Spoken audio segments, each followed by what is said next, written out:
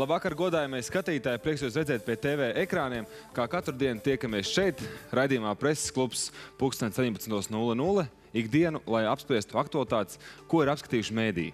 Šodien parunāsim gan par 16. martu, parunāsim par uh, vīriešu dienu, parunāsim arī par to, kāpēc tad Latvijas prezidentu neaicina uz tādām nopietnām sanāksmēm, kur tiekās visi pasaules līderi. Un tomēr Latvija ir Eiropas Savienības prezidējušā valsts, un pienāktos arī mūsu valsts vadītājiem apmeklēt uh, svarīgas pasākumus, svarīgas konferences un uh, samitus, kur tiek apspriesti svarīgi jautājumi arī mums. Kā arī vēl par uh, interesantu tēmu, kas būs pirmā tēma, uh, numur viens, kas nesen parādījās, to, ka Lietuvā tiks atjaunots obligātais militārais dienests uh, no šā gada rudens. Par to visu mēs parunāsim, bet nu man gods iepazīstināt ar šodienas viesiem. Ciemos trīs vīri, Ilgi tā nav bijis, bet uh, es zinu, ka šiem vīriem ir viedoklis, un noteikti tas viedoklis būs interesants arī jums. Tāpēc nu, iepazīstinu ar uh, Ostu asociācijas izpildu direktoru Kārlu Leškalnu, Labvakar. mūzikas mākslinieku Bruno Bīrmani, kā arī Sijā Gulbenes Alūksnes Bānītes valdes locekli Aldi Kreisler. Labvakar. Labvakar, kungi! Pirmais temats par uh, to, ka Lietuvas prezidents paziņo par obligātā militārā dienesta atjaunošanu. Nebija grūti šo ziņu izvēlēties, jo viņi nāca strauji īsti pirms raidījuma. un Domāju, ka noteikti par to ir jāparunā. Jo arī par mums Latvijā šeit runāts, ka vai mums vajag, vai mums nevajag, cik tas maksās, vai tam ir jēga. Lūk, ko dara Jā, tas ir labs, lab, labs stāsts, jo es nezinu, nevienu citu valsts prezidentu, eh, kā Gribēls Kaiskundze, kas paziņo, manuprāt, kopsumā vairāk kā vispārējie. Un, un acīm redzot, eh, ir acīm redzot konsultējusies ar, ar eh, Lietuvas un NATO militāristiem, acīm redzot, ir apsvērumi, acīm redzot, ir gatavs likuma projekts, jo tāpat tukšu atteikties no, no dienesta, izveidot profesionālu armiju, pēc tam uh, pāriet uz uh, vispārēju rekrutāciju. Nu, es tam tādu īsti lielu jēgu neredzu, bet gribētu skaidrs, kundze, acīm redzot, zina, viņ, viņas eksperti noteikti dara. Jā, kā tu teici, pilnīgi pareizi. Paldies, ka papildināji to, ka šis lēmums būs jāpieņem Lietuvas parlamentam. Nu, bet, protams. Un, nu, mēs visi zinām, kāpēc tas tiek darīt, darīts. Un Lietuva tomēr ir tādā pirmajā frontē gan ar saviem izteikumiem, varbūt vairāk tā ir tieši valsts vadītāji. Bet nu, viņi ir spēruši šādu soli. Mēs uzreiz salīdzinām ar sevi, kā tas mums ir Latvijā. Par to arī daudz runāts, kā es teicu. Nezinu, man liekas, ka um, mēs tik ilgi gājām projām no obligātā militārā dienesta, uh, lai tagad uh, viņu pēc. Um, tas faktiski nozīmē to, ka uh, acīm redzot, uh, mūsu kaimiņi uzskata, ka viņu armija tādā stāvoklī cilvēku resursu ziņā, kādā viņi ir šobrīd, kad uh, viņi nespēja tiksim, pildīt tos uzdevumus, par kuriem viņi Cilvēku resursi viņiem ir lielāki, neapšaubām, kā Latvija. Ir lielāki. Nu, mazliet. Un jā. neapšaubām palielinās zinām vecumu, ja vai jauno saucamo vecumu cilvēku emigrāciju uz to pašu Nu, īriju un uh, Londonu. Um, man liekas, ka īstenībā šobrīd uh, tomēr militārā ziņā, tāpat kā daudzās citās jomās, viennozīmīgi daudz svarīgāks ir profesionālisms un nevis vienkārši cilvēku masa. Uh, un, uh, tie ir jautājumi, kurus var uh, risināt ļoti dažādi. Nu, Es, nezinu, es, es, piemēram, nedomāju, ka obligātais militārs dienas, lai gan es uh, atzīstu viņa jēgu vispār kā tādu. Uh, bet um, es domāju, ka tas tāds drīzāk politisks žests varbūt ir un, un signāls nekā.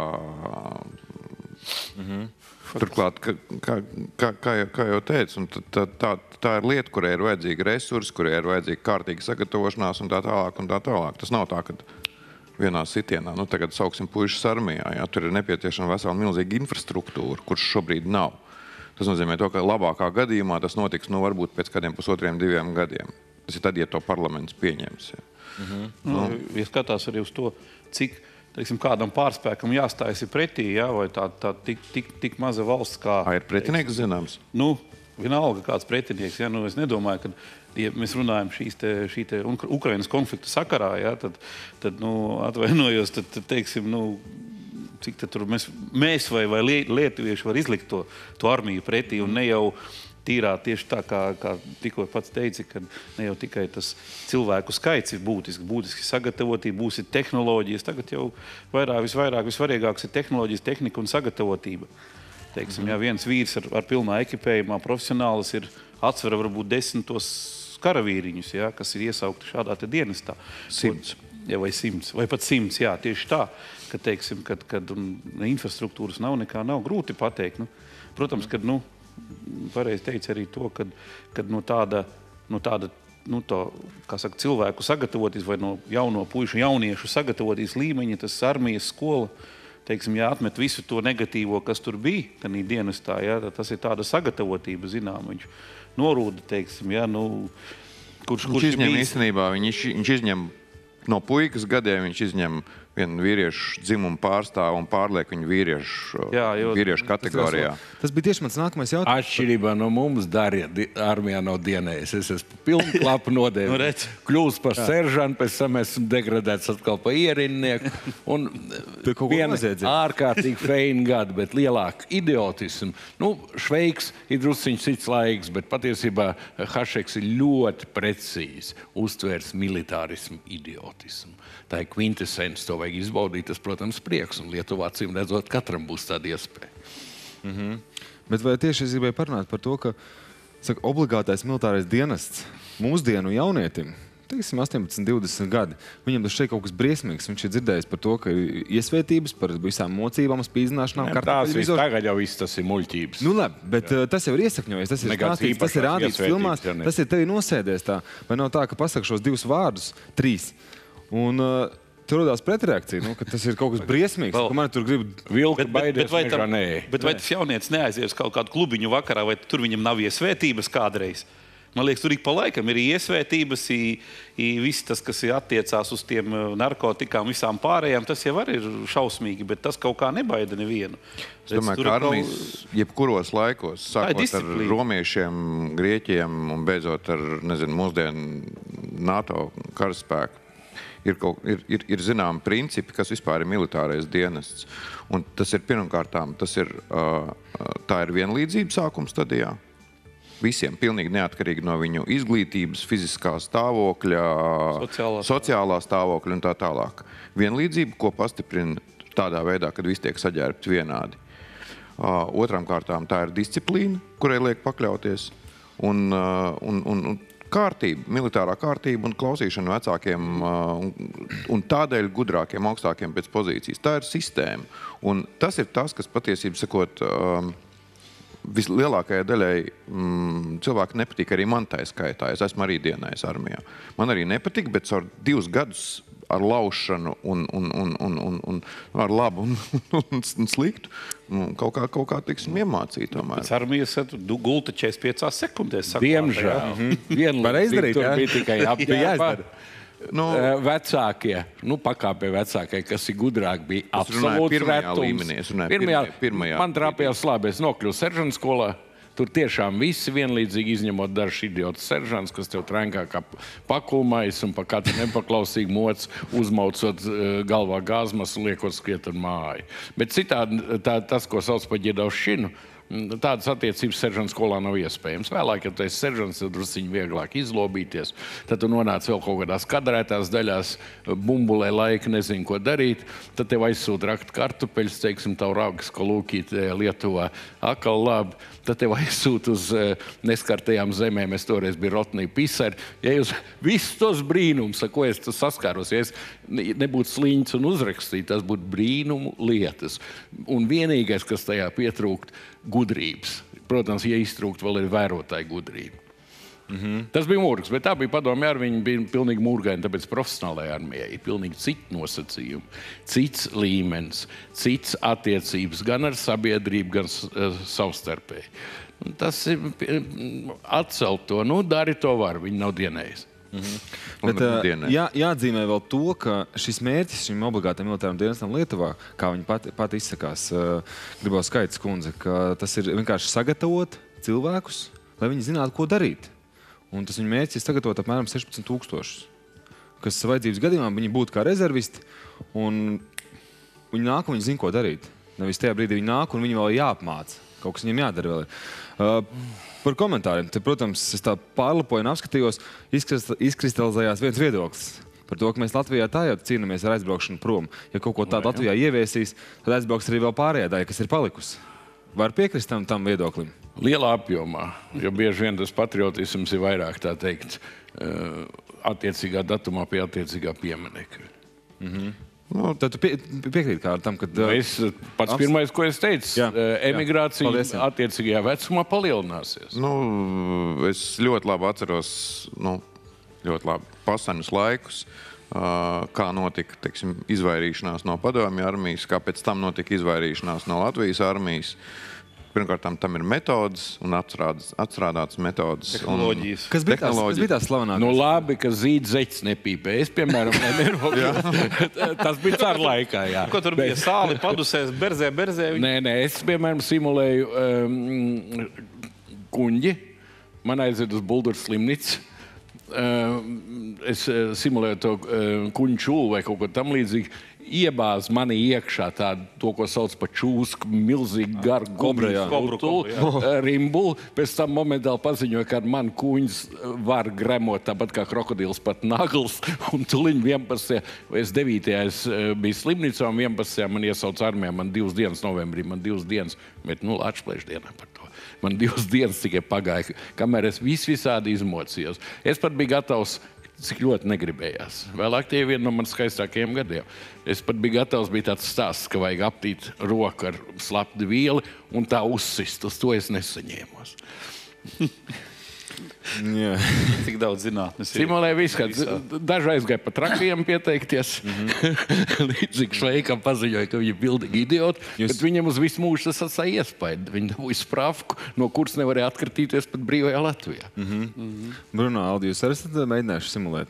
Es, es nemēģināju simulēt, ne. Vai kaut kādā veidā? Zinu, man daudz draugu, nu daudzi pietiekoši gan draugi ir to darījuši, un dažiem ir arī ļoti veiksmīgi tas izdevies. Mm -hmm. Man vienkārši nenācās, jo es, es tiku kara katedrā un līdz ar to teiksim, tie bija trakie 90. un, un, un līdz ar to es, es izgāju tā, to kara katedru, kuru neaiztika nu, nevienā, ne otrā teiksim, valstī, un tad gala beigās. Bet tas, ka izvairīšanās būs, tas ir 100%. Protams. Viņi ir visur. Nu, protams, cilvēki to uzskata par neracionālu. Protams. Par neracionālu mm, un nevajadzīgu. Un nevajadzīgu. Nu, jo profesionāli armijā tu ej ar apziņu. Cilvēki. Tu ej ar apziņu, ka tu ej par to saņem naudu, ka tu ej paraksties, ka tas ir tavs dzīves aicinājums, vai tev tas patīk, vai vēl kaut kā tu ej uz turieni. Tas ir citādāk. Zinām, ja tev pasaka, jā. ka tev jāiet, ir, nu, tad tu jau sāc domāt. Status, zinām, doma. Nē, nē, es piekrītu, ka 19. un 20. gadā, sākot ar Napoleonu, kas izdomāja uh, nacionālo valsti, pirmais viņa iemesls nacionālajai valstī dabūt karakalpus pavēlt. Līdz šim vajadzēja algoņu ņemt.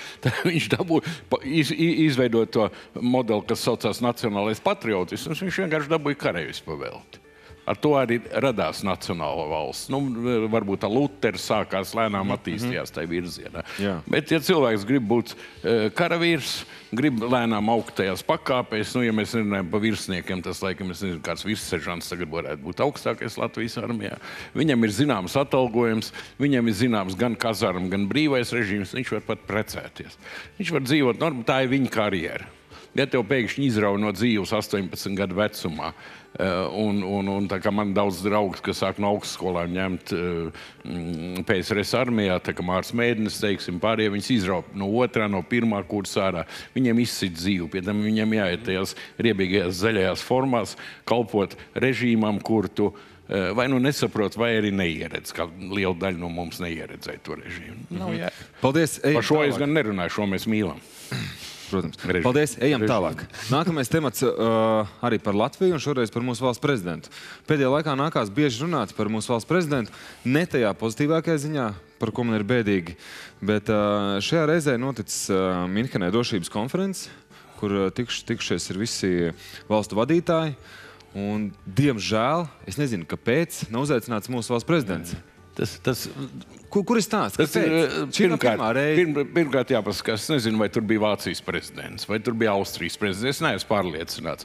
Jāskatās, kādas ir prezidenta funkcijas katrā valstī. Ja Latvijas valsts prezidentam būtu interese, būtu vajadzība, ko izteikties, tad ticiet man, mūsu ārlietu sektors sakārtos viņu uzaicināšanu gan uz Davos, uz jebkuru vietu, kur viņam ir ko teikt un kur viņš grib braukt. Latvijas prezidents saskaņā ar satversmi nenes ne politisku atbild, eh, atbildību un veica reprezentatīvu funkciju.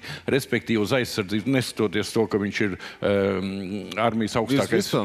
uh, virsvadonis. Uh, neskatoties uz šo, viņš reprezentē valsts starptautiski, un gan ministra kabinets atbild pārējo un iekšējo drošību, un attiecīgie ministri par to atbild. Tā kā, bet ticiet man, šī tā nedaudz kampaņa, acīm redzot, prezidenta otrais termiņš, es nezinu, vai viņa paša galvā, bet sabiedrības galvā lēnām tiek norakstīts, un tāpat saka, prezidents neuzsauc uz Davos. Ziniet, ja es labi gribētu, es pats tiktu uz Davos, es varētu sev sakārtot Davos.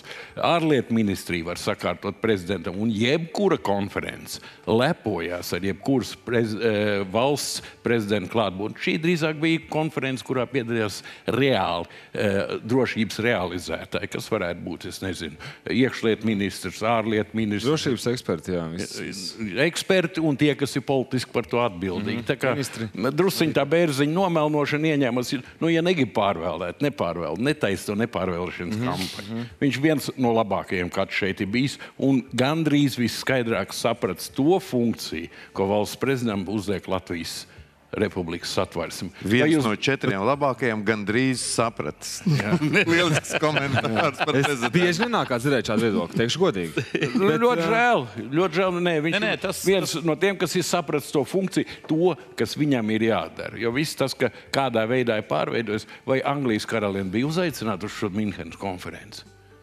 Pēc savas būtības Latvijas valsts prezidents Latvijas valsts prezidenta sadaļas satversmē pārrakstīt no tām funkcijām, kas ir veicama Anglijas mm. karalienei. Viņi tur gāja, viņi tur vicināja zobenu un stāstīja, mm. kā viņi aizstāvēs varonīgu Ukraiņu. Tā nē, mm. un mūsu bērziņam arī nav par to jāmūt, pa tukšo. Jā. Kungiem, tas jau arī tā izskatās. Varenie ignorē. Jau ziņu var pagriezt otrādi. Varbūt viņš nemaz negrib uz turieni. Nē, no nu, skaidrs, nu. ja viņš gribētu, viņš tur būtu. Ticiet man. Pagriezt otrādi. Vai arī mūsu ārlietu ministrija vispār nav spējīga neko izdarīt. Bet es pieņemu, ir spējīgi vienkārši bērziņkungs. Pat avos viņš arī pateica, nu, ja kādam gribās braukt ekskursijā, tad lai viņš brauc. Var iztikt bez viņa. Bet man ir draugi privāti personas, kas savu klātbūtni Davosā ir norganizējuši gadu no gada, nebūdam nekādā sakarā valsts pārvalde. Tā kā šis tas viss ir pasaciņas, tas ir tāds. Eh, Bet, nu, tu kā pats teici, ka prezidenta vienā funkcijā, galvenā funkcija ir, eh, ir reprezentatīvā. Jā. Nest uh, valsts vārdu, būt prezentēt. Jā, jā protams, Tad, uh, attiecīgos manā, pasākumos, manā, manā ne jau drošības konferencē. Kāpēc viņam tur jābūt? Pas, ko darīs uh, drošības konferencē, kur piedalās eksperti, kur piedalās, es nezinu, kurš no mūsu ministriem tur bija, kas tur jādara uh, Bērziņa kungam, tā kā Ipolitam Matvejičam uh, jāgroz galva. Un, un jāsaka, Torgs dziesmu mēsķiem, kad viņš stāsta pa, pa, Jā. par. Bruno, ko tu domā par to? Es neesmu bildes nemēr. Es zināmā mērā piekrītu tam, kad, tad, kad tiek gatavot šādas konferences, viņām ir dienas kārtības, un ja vien viņas nav vienkārši tikai uh, žesta tādas vai papļāpāšanas līmeņa. Tur tad prezidentam jābūt. Tad, jā. uh, tad, tad, tad tur tiešām tiek saicināti cilvēki, un bieži vien tur tie Tur tā frontālā bildīte jau vien faktiski ir, ir ar saviem zināmiem politiskiem signāliem. Uh, ja runa, es nezinu, kas ir 51. Minhenes drošības konferences. Ja viņi 51. reizi sanāk, tad tur acīm redzot, viņiem ir kaut kāda jau sistēma, dienas kārtība, mērķi un viss pārējais. Un, uh, nu, faktiski te jau var redzēt, tur pēc komentāru skaita, ko tur, ko, kā, kā šis raksts ir iegriezts. Jā. Es nepiekritīšu par to, ka, uh, manuprāt, Bērziņš noteikti nav no četriem tajā, tajā, tajā, tajā augstākajā pozīcijā vērtējums, bet tās ir manas personīgas domas. Uh, man šķiet, ka nu, tā ir. Nu, Mēdī tiek izmantoti sabiedriskās domas veidošanai, lai gan patiesībā sakot, viņai diži liels jēgas nav, jo tāpatās pie mums prezidenta vēl saima. Un...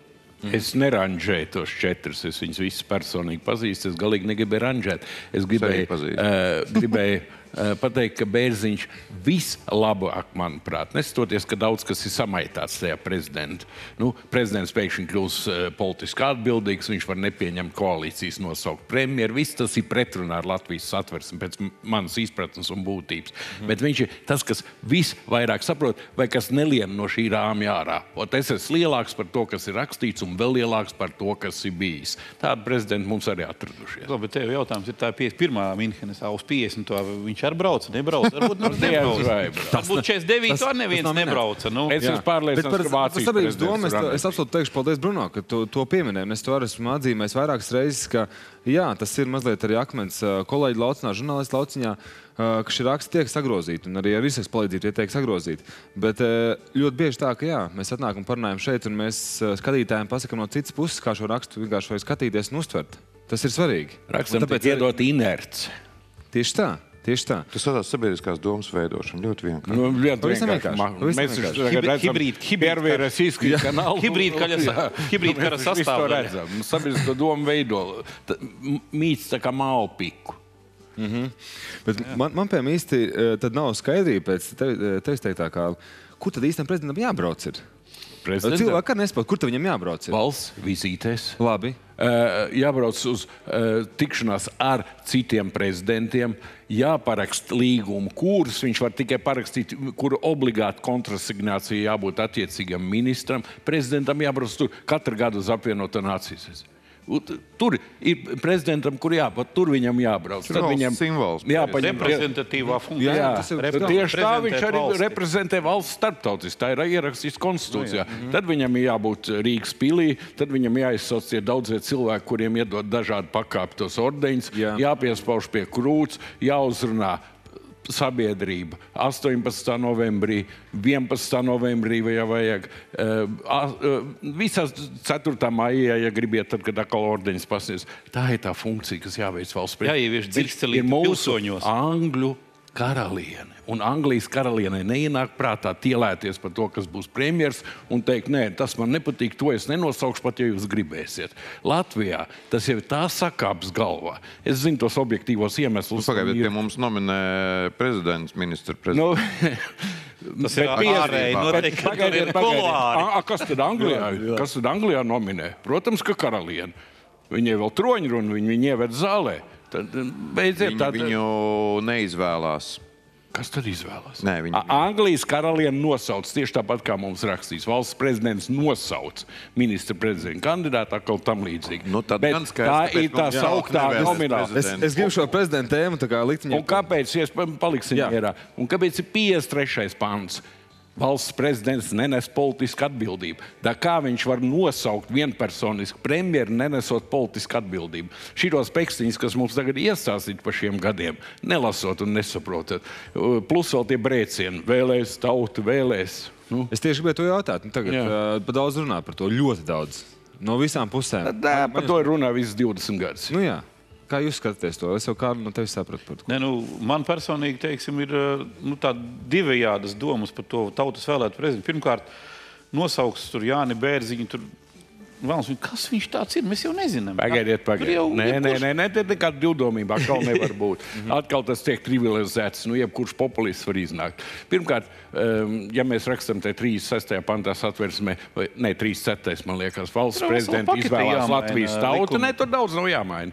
Tad uh, nākošais valsts prezidents ievēlēšana nosaka atsevišķu likums, kur tieši tāpatās kā tautas vietniekam, ja deputātam likums pasaka, ka viņi izvirza politiskās partijas, nesot politisko eh, atbildību. Tur, tur nav tik daudz jāmaina, un neviens maināmais nav satversmes jautājums, bet tā jau ir prezidentāla republika, kur nomināls valsts valdības vadītājs ir valsts prezidents. Viņš, protams, iece- ieceļ pirmo ministru, jeb mm -hmm. premjerministru, Jā. un viss tas notiek. Un viņš nes šo politisko atbildību par to kabinetu. Ja šajā brīdī prezidents saka, es likšu pa uh, premjeru Godmanu, un Godmans izgāžās, tad nesot politisko atbildību, viņš pats izgāžās. Arī prezidents. Bruno, tu esi par tautas vēlētāju prezidentu vai pie šīs sistēmas, kas šobrīd ir? Es esmu par godīgām vēlēšanām. Ko tas nozīmē? Nu, Tas ir labs jautājums. Vairāk vai domāju, tādam mazāk godīgi. garam, diez... vairāk vai mazāk godīgs. Nu, vairāk vai mazāk godīgs, protams. Nē, bet, zin, kā, Atvaino Nē, tikko- jautājumu. bet tāpēc- es vienkārši Tikko te Kārlis pieminēja to politisko atbildību. Teiksim, es visu laiku nevaru saprast, kas ir tā politiskā atbildība. Mums visi runā visi par politisko atbildību. Vēlēšanas. Nav Nu, daudz. jā, bet, Bet, bet dzīvē jau tas nedarbojās. bet dzīvē jau tas nedarbojās. Darbojās ar Tā, bet- intervālu katru četru gadu. Nepatīk Latvijas ceļš, vai nepatīk tautas partijas uh, veidotā politika. Nu kā? Politiskā partija iestājās kārtējās vēlēšanās. Vēlētāji atvainojos. iztrīpo laukā, jā, tu Labi, pēkšņi labi, ģeks jā. aizbrauc Ir kaut kādi Koreju. labi paraugi arī bijušajā postpadomi telpā ar prezidentiem Leks Valens, Polijā, Vaslavs Havels, um, Čehijā. Uh, tie, ir, uh, nu, tiksim, tie ir cilvēku leģendas. Un, uh, man liekas, ka patiesībā sakot, nav svarīgi, kā ievēl, svarīgi ir, ko ievēl. Jā, ar to arī beidzam šo, šo daļu. Cilvēki pareizi. leģendas. Mums Jā. leģendas bieži vien vairāk patīk par Paldies. cilvēkiem. Tagad, Tas labs skatītāji, mēs aizējām nelielā reklāmas pauzītē. Būsim atpakaļ pēc nepilnām četrām minūtēm. Palieciet kopā ar mums, jo mēs runāsim par ā, 16. martu un vai atteikšanās no 16. marta būtu valsts nodevība. Kā, to ir teikusi ā, profesore Vita Zelča. Tas pēc reklāmas.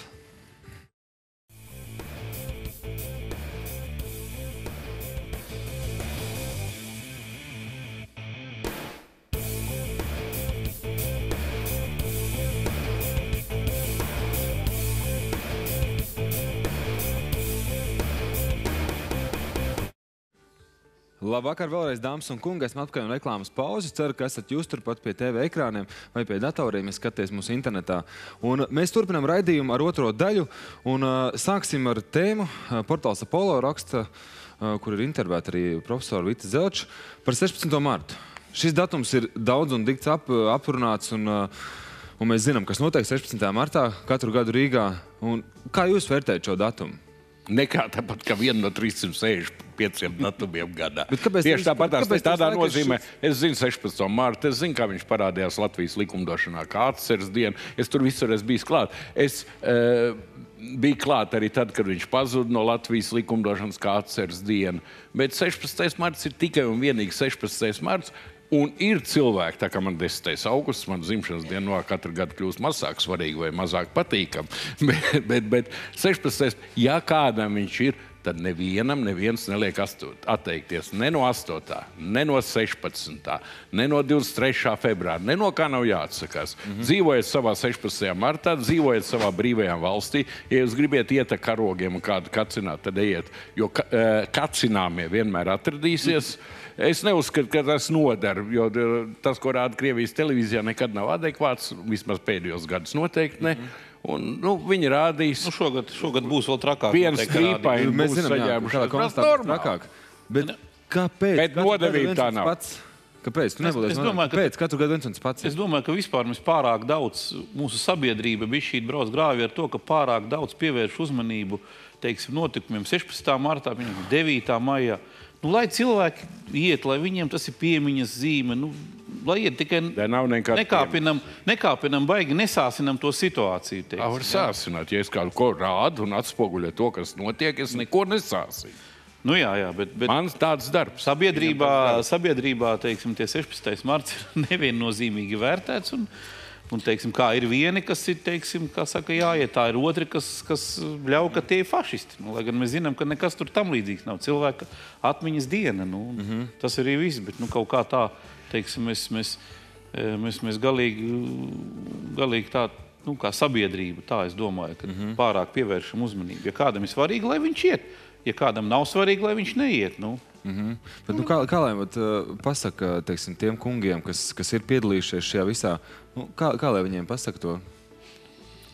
Bet viņi jau Bet tā kā nekas nav jāsaka. Viņiem nekas nav jāsaka. Ja viņiem tas ir svarīgi, lai viņi iet un Es pilnīgi atbalstu, lai iet. Lai iet, Mans lai- tēvs, paldies Dievam, netrāpīja leģionā, bet bija zenītā spēlējis izpalīgos.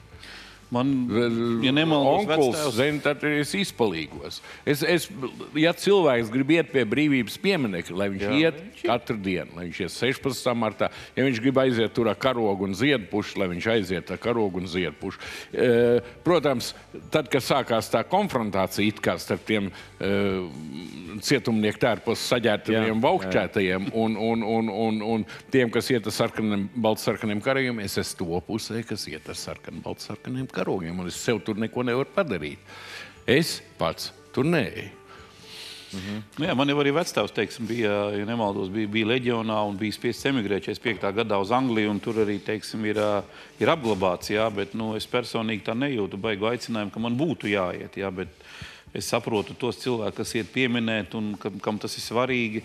Jo galu galā arī es savu vecāku nemaz tā īsti tādu dzīvi. Es tikai no bildēm viņu esmu redzējis, un neesmu, neesmu saticis dzīvēs. Tā viņš ir aizbraucis vēl sen pirms tam, kad es dzimu. Jā, Noteikti kļuva par Daugos vanagu toreiz Latvijā. Jā, jā, protams. Nokļuva apsardzes. Bruno, kāds tavs viedoklis par, uh, par šo ir? Kaut kas stipri līdzīgs. Es pirmkārt domāju, ka 16. marts ir tieši tāds pats kā 15. vai 17. Uh, es domāju, pilnīgi noteikti to, ka uh, Restīvi, tas datums kā tāds patiesībā sakot, ir datums vienkārši. Uh, es domāju par to, ka uh, atmodas laikā jebkura uh, sāpīgā, sāpīgā datuma atzīmēšana tika mm, saprotami atzīmēta kā, teiksim, kā, kā protests. Viņš, viņš faktiski viņš iezīmējās kā protests tai, tai, tai, tai sistēmai, kas darbojās. Drusciņi vēlāk. Un, drusciņi vēlāk. uh, un pēc tam tas tika pacelts uz tādu piedestālu.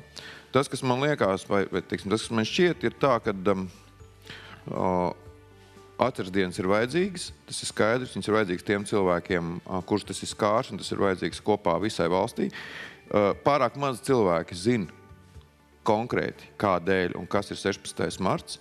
Un, ja to vēl kaut kādā līmenī zina uh, lat, latviešu jaunatne, tad es esmu pilnīgi pārliecināts, ka nu, lielākā, nospiedoša lielākā daļa uh, tā saucamās krieviski runājošās jaunatnes, jo nu, tiešām nezina, ka, kas un kāpēc 16. marts. Un tādēļ viņi tiek izmantoti no mediju vidas, mm. kur, kur tiek parādīta konfrontācija. Maršē- notiek visā pasaulē. Viņas notiek Protams. Francijā, viņas Maršē, notiek Vācijā, viņas notiek, viņas notiek Tas arī tiek Polijā. Visur notiek konfrontācijas starp atšķirīgi domājušiem. Mm -hmm. uh, valsts un pilsētas uh, struktūra, drošības struktūra uzdevums ir uh, nu, gādāt par drošību. Kāpēc, pieņemsim, es nezinu, tur nenotiek pie katras manifestācijas kautiņi un, un, un kaut kas, nezinu, tur Vācijā, Francijā, Noteikti, Itālijā? mēs par to neuzzinām. Tur notiek vairāk. Noteikti, vien noteikti. Es notiek tieši vairāk, noteikti. Uh, Vēl, vēl par šo rakstu, par, par uh, virsrakstu. Par nodevību. Tas ir pielīdzināms nodevībai, ka mēs šo vēsturi savā ziņā varbūt negribam atcerēties vai nevēlam atcerēties. Es Jo jums tā, teikšu te, ir, tā. te ir stāsts par vēsturi. Tā būtu 100% Ko? nodevība, jo tad martā būtu tikai 31 Jā. dienas. 30 dienas, un man dažām labāk prātā viss trūkst Man, dzimšanas dienas. man savukārt mazliet nevajag šķiet, uh, ka tās emocijas tiek mākslīgi sakāpinātas mēdīju vidē. Un, uh, šobrīd Krievijas mēdījos teiksim, valdošais šis te spiegu skandāls, tā, tā, tā, tā, kas ir, kur faktiski jebkuru var apvainot uh, spiegošanai vai valsts nodevībā. Nu, tas tagad kaut kur zināmā mērā ir pārgājis arī. Tas ir tad, tad, tad atbildes reakcija arī, arī, arī no tiksim, citādi domājošās pasaules daļas. Nu, restīvi, un šajā gadījumā tā ir nodevība. Nezinu, ko nozīmē atteikšanās no 16. marta. Nodevība absurds pašā būtībā. Absurds Nu, jau virsrakstā. neatteiks. Es nezinu, vai to teica profesori, bet absurds. ir. Kā var atteikties no, no atmiņas dienas, atceres dienas? Nē, kur no teikt, 16. marta. Godīgi Nē, sakot, nu, kad, nu, tas jau nu, no kalendāra viņi izravē tā. Ā, Es nu, pilnīgi kā. mierīgi. 15. Šobrīd, 17. 16. Daudzkārt vairāk atzīmē, teiksim tā. Eh, eh, Cilvēki, kas Volhovs purvas nav pat ne ostījuši, ne redzējuši, ne pat zinu uz kartes, kur tie atrodas. Protams, ka 16. marts ir veselām grupām, un to nevar aizliegt. Ir, ir politisks simbols veselām politiskām partijām, un tas viņiem ir ārkārtīgi nozīmīgi. Bet nu, tikpat labi citām politiskām grupām 9. maija ir simbols. Es nezinu, ārkārtīgi daudz politikāņi izmanto 18. novembri, eh, 11. novembri Mhm. un 4. maiju kā tādu politisku simbolu. Un, un, un tā teikt, izmanto viņus saviem savtīgiem mērķiem, kas sakrīt ar tās vēlētāju daļas, kur pa viņiem Mhm. balso, eh, kopējo priekšstatu par notikumu. Jo īsti kā radās tas 16. marts, neviens it tā nebija leģiona. Tā it kā bija pie Lovats, tur laikam viena no pirmajām kaujas dienām, cik es atceros. Īsti to skaidrību, kāpēc pēkšņi 16. Tāpat neviens nezina. Kāpēc 11. novembris mēs zinām, kāpēc tas ir 18. janvārs. Bet, ja ir 16. tas ir 16. un kam tā ir svēta lieta vajadzīga vai izmantojama lieta, lai viņi to dara. Nedod Dievs kādam kaut ko aizdegt, un nedod Dievs Martu padarīt pa vienu dienu īsāku. Pilnīgi, pilnīgi taisnība. Bet, uh, Tas izbeigsies kaut kādā brīdī, šī izmantošana no politiskām partijām. Nekad mūžā.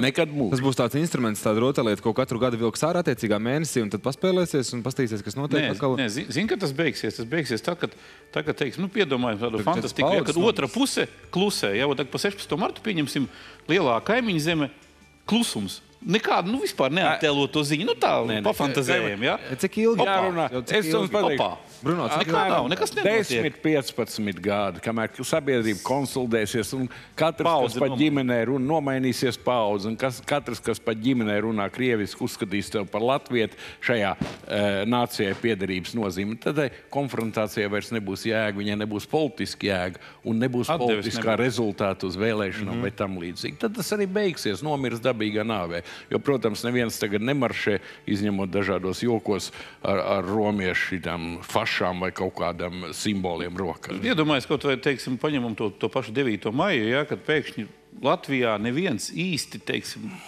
neraksta, nekur nestāsta, ka tur, vot, tur tas maršē vai šis maršē. Vienkārši atnāk cilvēki, notiek viņiem tur, kas notiek, un klusums ir no tā.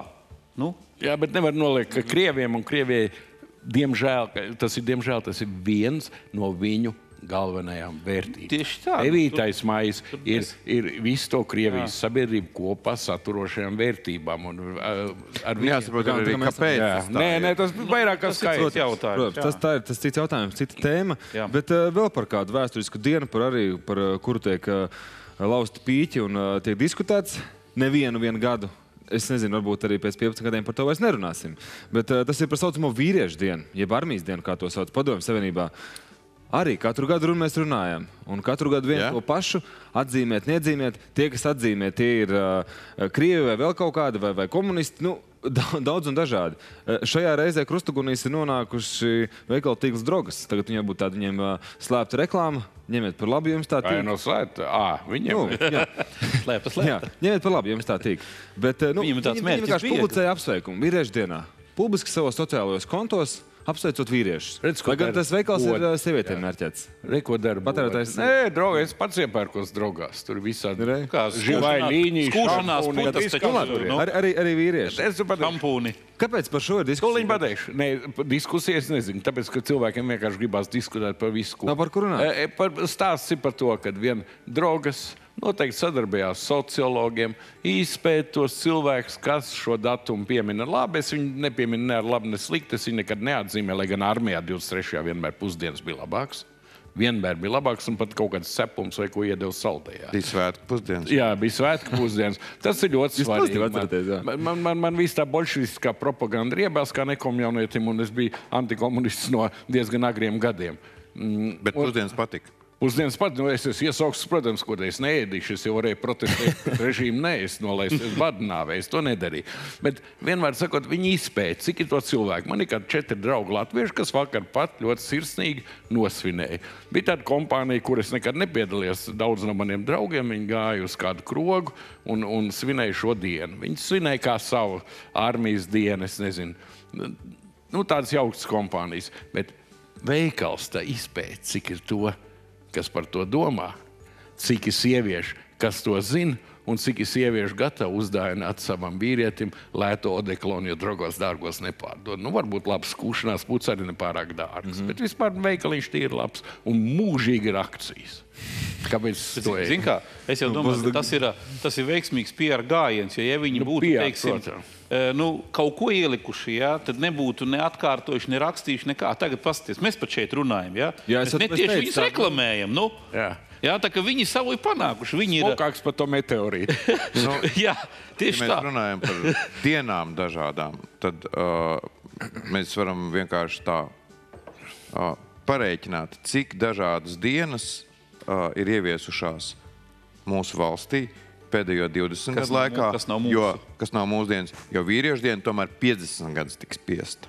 Uh, Valentīna dienas. Helovīni. Un vēl Tas taču viss arī dzīvo. Nu. Es domāju, ka šajā gadījumā, tīteru, es domāju, šajā gadījumā tie komerciali, tie- tā, tā ir svētku komercializācija. Tieši Un tā. šajā gadījumā es nezinu, cik lielai masai tur drogām vai nedrogām nav svarīgi. Um, cik lielai cilvēku masai tas ir vienkārši iemesls viņiem kaut ko atkal piedāvāt. Un, tā kā cilvēki ir uzņēmīgi pret tādām lietām, nu, tad veikals to arī dara.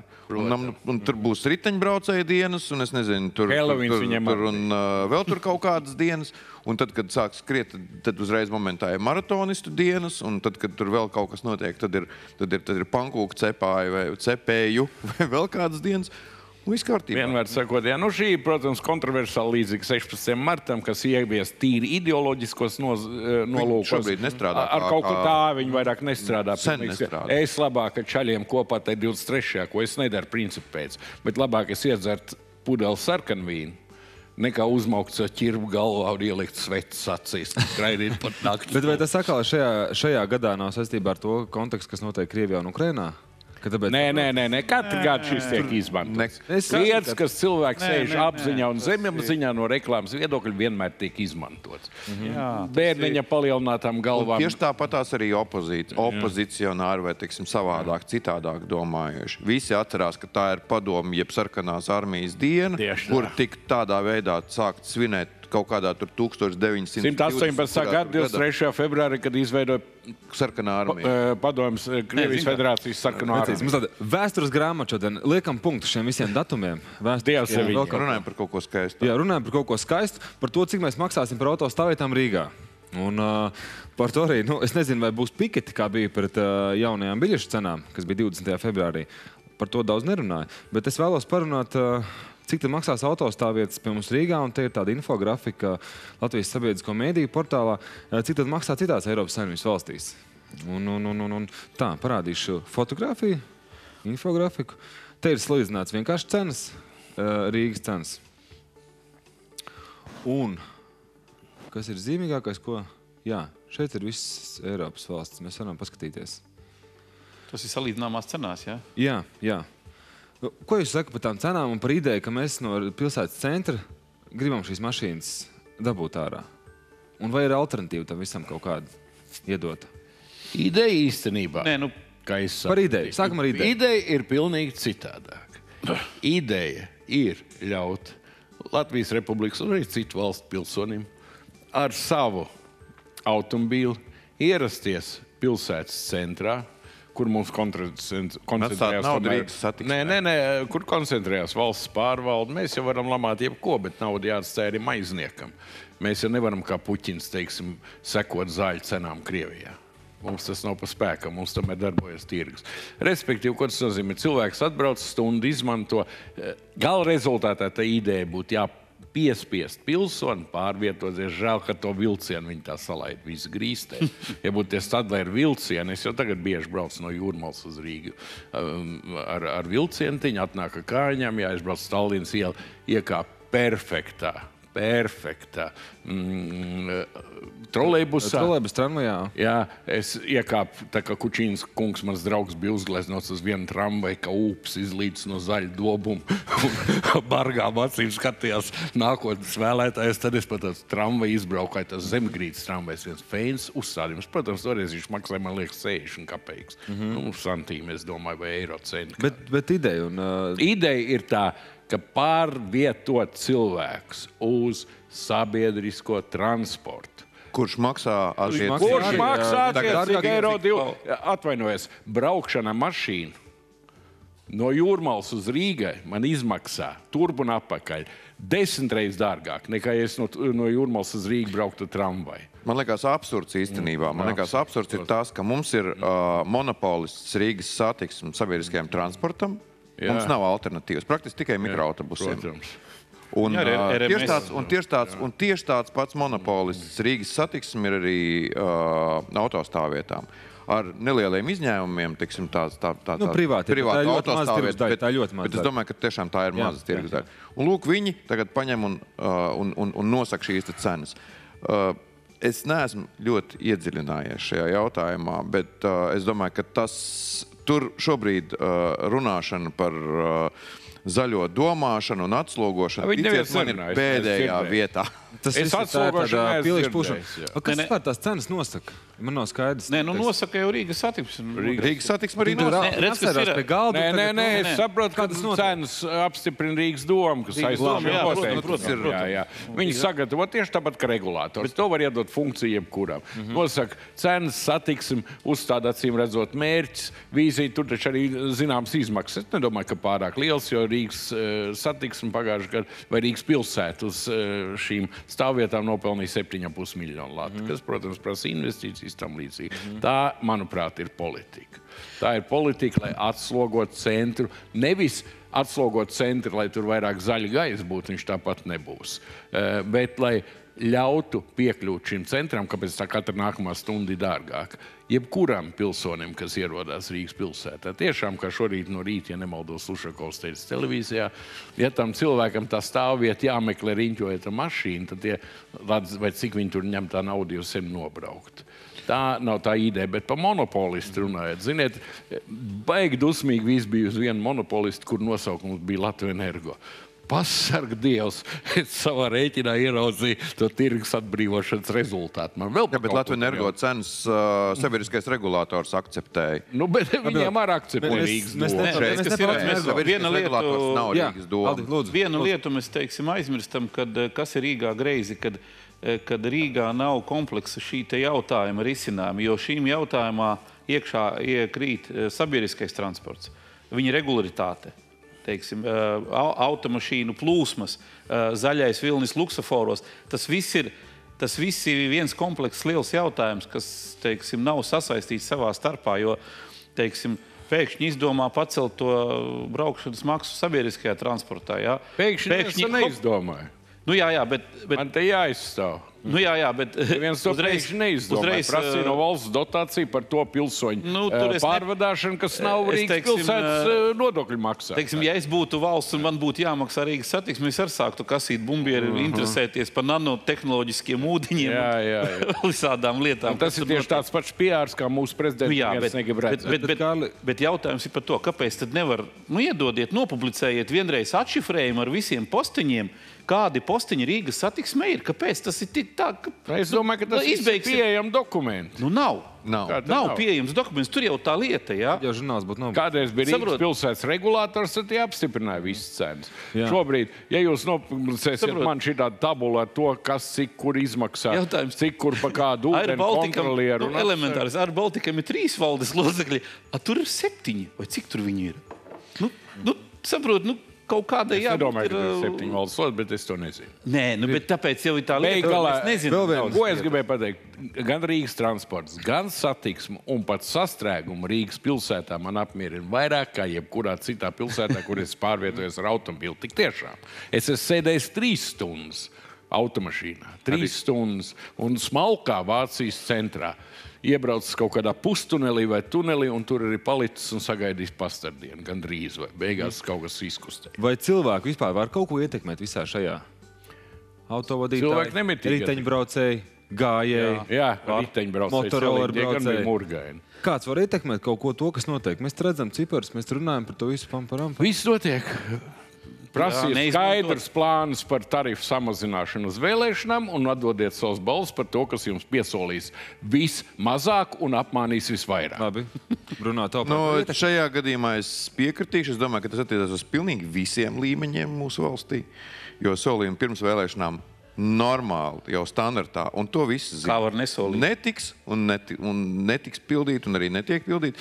Es domāju, ka uh, nu, tas vads, viņš patiesībā sakot, vēl ir līdz vads lūš, lūšanai ir ļoti tālu. Vienkārši man, man kļūst reizēm bēdīgi paskatīties, cik tukša pilsēta mums ir kļuvusi. Tas arī Vāģi lūšana ir tālāk pa tālu, nedod Dievs piesaukt, jo vads jau nav nekas kā Maidans un vispārējie mūri. Kāds es vairs politiķis? Vecs vīrs, eh, ko nozīmē- kas ko zina, kāpēc ka, kaut kas cik maksā. Un, un ka tas, ka kādam ir maza alga, vēl nenozīmē, ka cenai par kaut ko citu jābūt tikpat mazai. Nu, tas, mm -hmm. To es saprotu. Un, Nē, uh, es tagad gribu noprecizēt savu domu. nu, pensionāri, Skaidrs, protams, Rīgā brauc. Mēs visi gribam braukt uh, labos transportos. Jā. Labos tramvajos, labos trolēbusos. Bet tad, kad tiek nolikti skaitļi, cik mēs saņemam un cik ir izmaksas, un uh, salīdzinām ar mūsu tepat blakus kaimiņiem, kā arī šeit tas izdarīts, ir. Bet kur tā atšķirība? Kā var būt 400 km robežā 500? Tāda atšķirība. Ja mēs Nu, dzīvojam tāpēc- tā, kā, nu, Nē, nu, tāpēc tā kā jūs sēžat blakus viens otram, tā mēs esam ar Lietuvu un Igauniju. Kur ir atšķirība? Kāpēc mums ir nav jautājums. Kāpēc viņiem ir divi? ir jautājums, divi? kur vajadzētu Nē, nē. uzdot šiem cilvēkiem. Jā. Kuri var Kāpēc jums šķiet, Nu kā, prasa, kāpēc tā ir? Bāliņi pie teikšanas. Nu, bāliņi, nu kā, nu mēs Nē, tam zinām, tām sabiedrība jau zina. tieši tas pats. Es esmu pilnīgi pārliecināts, ka autostāvvietās tās privātās, nu, varbūt pacels, bet pacels daudz minimālāk. Jo viņi jau ir, tā, tās cenas ir objektīvas. Privātajā modo Kas tur objektīvs? Es Bastai kalnā iebraucu, man nu tajā, kā viņi sauc to stāvvietu. Jā, jā, jā. Eiroparkā. Eiroparkā. Man tur nekāda mazā summa neienāk. Es citreiz Nē, nu kā, nu tur ir iebraucu ēka 9 no rīta, 12 braucu ārā, maksāja 9 eiro. Pie tam es stēnu, pukstu un lamāju. Un šoreiz ne Rīgas doma, bet privāto biznesu, kur dibinātājs ir viens man salīdzinoši tūs radgabals. Nu, redz, kā. Jā, Tad tas- jā, jāsaka, vienkārši atlaidi. ir.